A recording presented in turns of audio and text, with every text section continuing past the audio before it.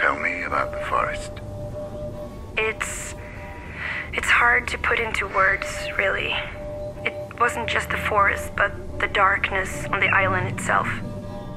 Through the Woods is a third person Norse horror adventure set in a forest on the western shores of Norway. The game has a few graphical issues that could be a deal breaker for some. I had one such issue where all reflections would flicker black.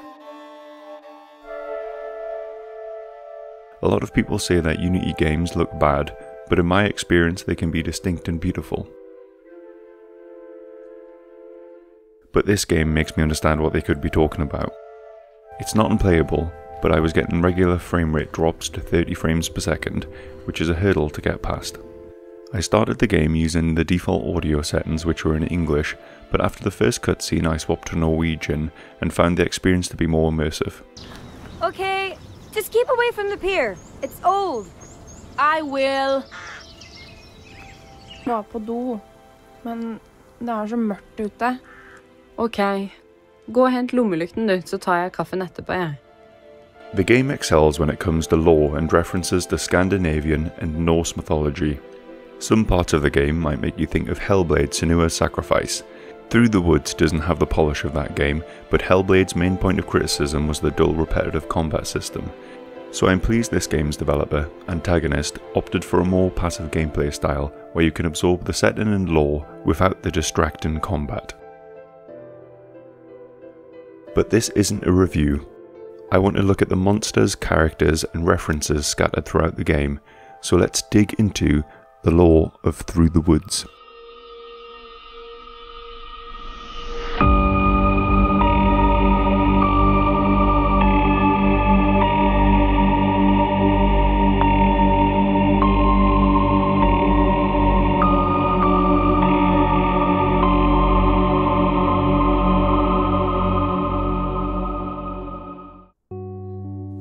Hasn't played the game, I'll explain a bit about the story and setting.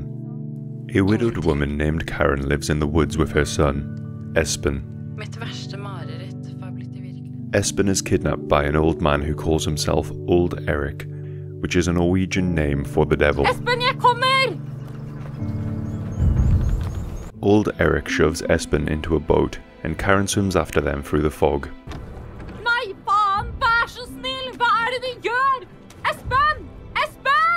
This scene goes on forever, by the way.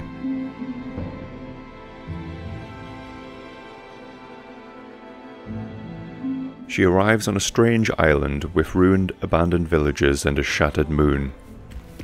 Da jeg var liten, fant jeg et bilde av foreldrene mine i en gammel sko. The villagers she encounters have gone mad, and the rest hang from trees.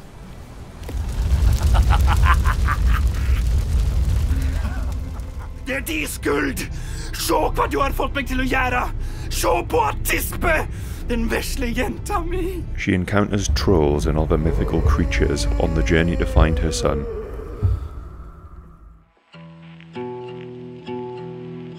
There is a huge boar called. Er lyden? The pig is mentioned in the poem Grimnismal, where Andrimir, the cook of the gods, slaughters the beast and throws him into his cauldron, Eldrimnir. Sæhrímnir is eternal, so after the boar is eaten, it is regenerated the following day, providing an endless source of food for Æsir and the Einherjar. In the game, it appears deformed with human arms. Oi. Unnskyld. Unnskyld. Jeg går tilbake nå.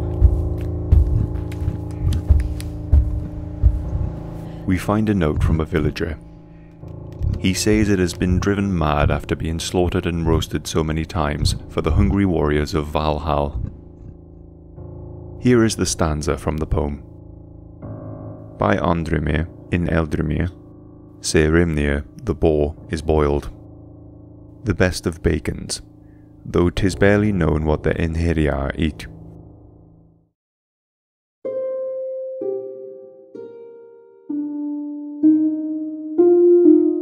The Nøkken are shapeshifting water spirits in Germanic mythology and folklore. They are sometimes known as a brook horse because they take on the form of a horse. They tempt men and children to ride them and lead them back to the lake to drown. Nokk from Frozen 2 is inspired by this. In Scandinavian folklore, the Näcken, Näkki, and Nøkk were male water spirits that played songs on the violin. They lured women and children into the lakes and streams to drown. Not all of these spirits were evil. There are stories that depict humans interacting and falling in love with them, but they often ended with the Nøkk leaving and returning to their waters. It is said that when a Nooker tries to carry a person away, they can be defeated by uttering their name. Being shapeshifters, it's difficult to describe their appearance. We briefly see something resembling the creature in the game.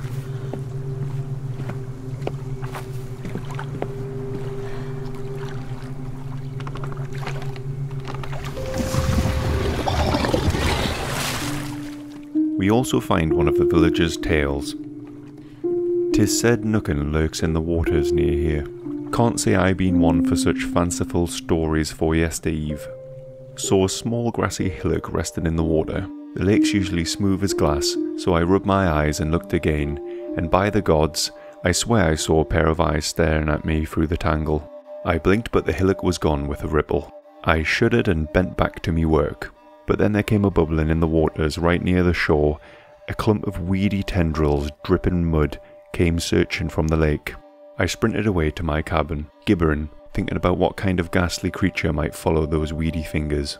Tis said you can rid yourself of Nøkken if you speak its name. The thought that something could give a creature like that a name is near enough to drive me mad.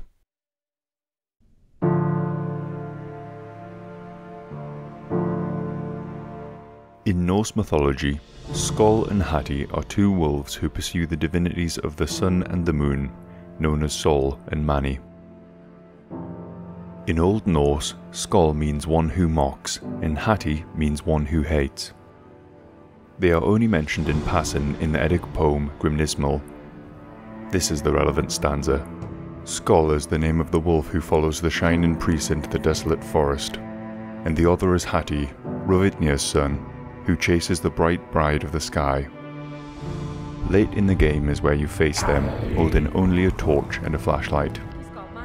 There's something awesome about coming face to face with giant talking wolves.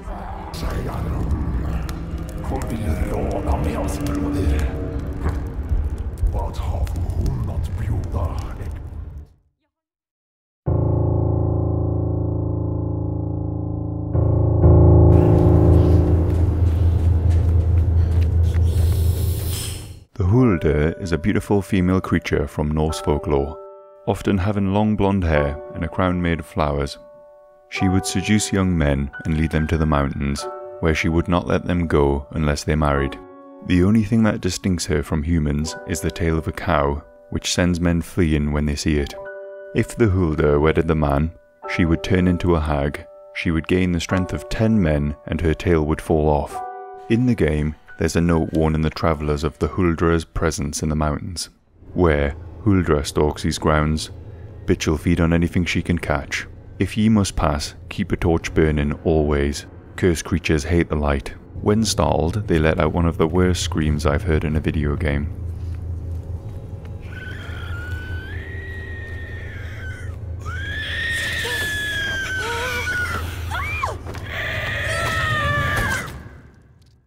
The screaming, the screaming of the bitch.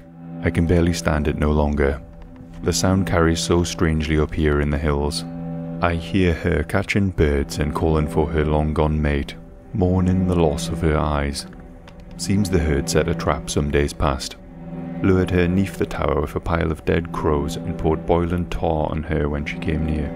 They tried to shoot her with burning arrows, but ye'd more easily find a horse with gills than a man of the herd with a good eye.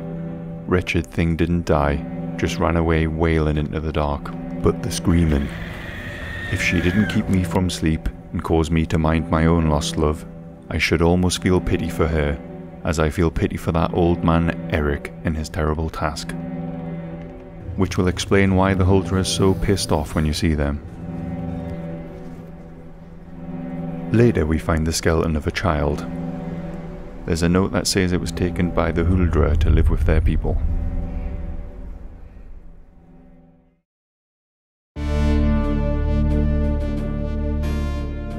Garm is the blood-stained guardian of Hell's Gate.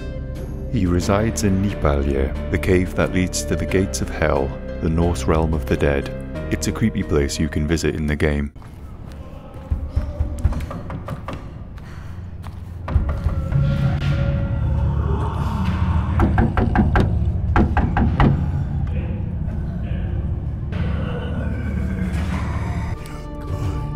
We find the dog wounded outside of the gates of hell. He asks Karen to kill him by dropping a boulder on his head. La meg slippe å lide på kanten over meg. Dytt ned på meg. Vær så snill. In Voluspa, in Eddic poem, Garm is mentioned. Now Garm howls wildly before Gnipa Cave. Chains will snap and the wolf will run.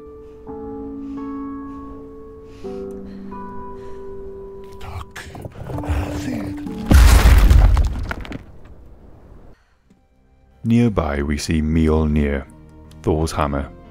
And when I say Thor, I'm not talking about this twat. I'm talking about this magnificent goat riding ginger bastard. With the hammer being so close to Garm, I'm not sure if they're implying that Garm and Thor fought during the war, or if it's just a little nod to Thor, who presumably would have died during Ragnarok.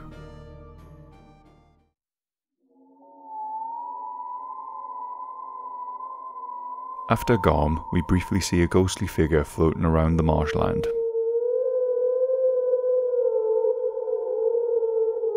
I believe this creature to be Hel, the goddess Hel, not the place Hell, which is also spelled H E L.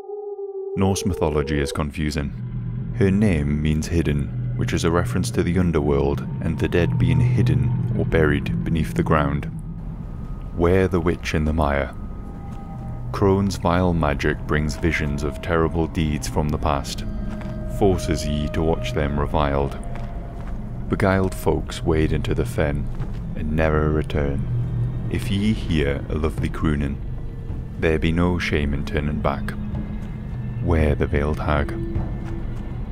Hel is the daughter of Loki, making her part of a highly dangerous and disreputable family. She is harsh and cruel, indifferent to the concerns of both the living and the dead. Hel makes Karen relive her past traumas. I don't really know what the writers intended you to feel for the character of Karen.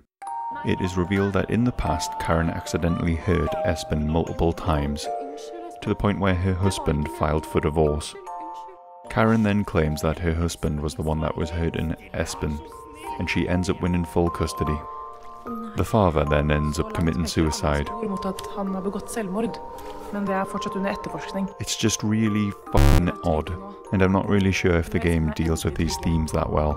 Like another game I'm looking at. Everyone in the game seems to hate Karen too. Og i kveld? Mamma, jeg prøver liksom å tisse her.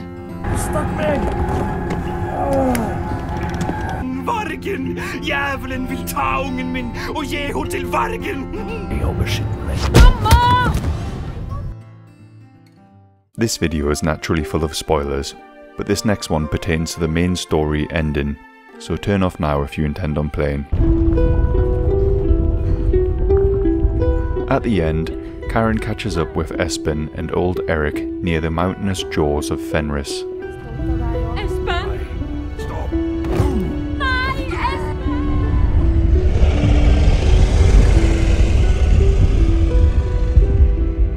Espen sacrifices himself into the mouth of Fenris, and they all return to the new world. Old Eric is dead. And Karen tries to perform CPR on Espen, but it's too late for him. Karen knows that Espen's sacrifice only delayed the full apocalypse by a few years, and that Fenris will require more children eventually. To honour her son's sacrifice, Karen has to pick up the mantle of old Eric so that all of the sacrificed children didn't die in vain.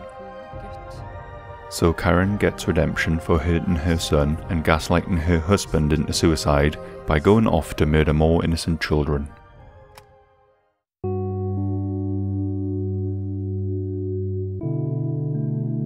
I'm not a Norse mythology expert, so let me know if you've got any different takes on what the clues could mean. I bought the digital collector's edition, so the game, soundtrack, and digital art book came to £3.51 or $4.80 in the US. As I said in my previous video, I want to keep looking at cheap Steam games. I just invested in a new user interface for my microphone, so hopefully things sound a little bit clearer. Thanks for watching.